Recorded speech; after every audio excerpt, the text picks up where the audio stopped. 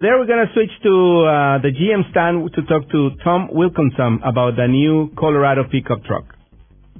Well, Tom here at the LA Auto Show, and uh, big debut for uh, for the for Chevrolet here at the LA Auto Show, but uh, not so big in, in terms of the car.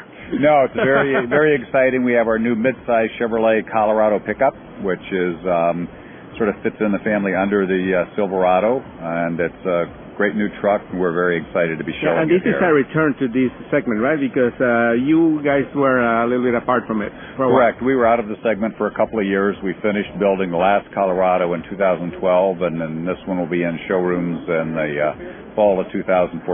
Yeah, and uh, how important is, is, is this segment? Because obviously the the, the, the full size uh, pickup trucks are uh, the most the ones that sell most. But this is important too, right? It's very important, and these the trucks fit reach a different group of customers. These people are more likely to live in cities and suburbs. They're more likely to commute in the truck during the week and then use it for weekend activities, for um, recreational activities, gardening, and so forth on the weekend. So it's more of a personal use truck and a different customer. So it's really important to reach both customers. Well, as opposed to like a working uh, pickup truck, right? Correct. Full size trucks tend to be more um, work trucks during the week. Again, they're often used during the weekend, but it's it's a different type of work, and so it's great to be able to reach both yeah, but with, but with your new Silverado, I mean, that's a luxury vehicle. the, the, the, the, way you, you can equip it, right? Oh, it is. It can be equipped as a luxurious vehicle. Um, but what we're finding is a lot of people just want a smaller truck, particularly, for example, here in Southern California. People live in urban and suburban areas. Um, streets are narrow, parking spaces are small, and a, a mid-sized yeah. truck is a great option. Yeah. So, what uh, can you tell us a little bit of the characteristics for this uh, for this uh, pickup? Well, it's essentially an all-new truck. It's an evolution of a truck that we sell in uh, South America and Asia, and uh, but it's been re re-engineered for the U.S. and Canadian markets.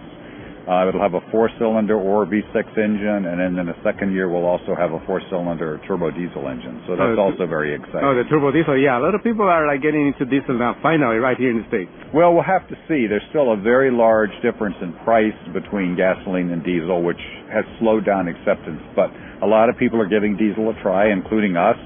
Uh, we're glad we'll be able to offer it in Colorado, and we'll see how it does. Yeah, because uh, the new diesel technology really has improved a lot, and like it gives an advantage, right, in, in terms of performance and in the long, long term also in cost.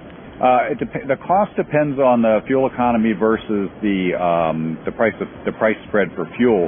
But in terms of performance for a truck, particularly on Colorado, the diesel will have much more torque than the gas engine It'll be a good option for somebody who's towing as well as somebody who just likes the driving characteristics of a diesel. Excellent. And when uh, does this one come into uh, the market? The diesel will be uh, in the fall of 2015. So we'll have okay, the new Colorado.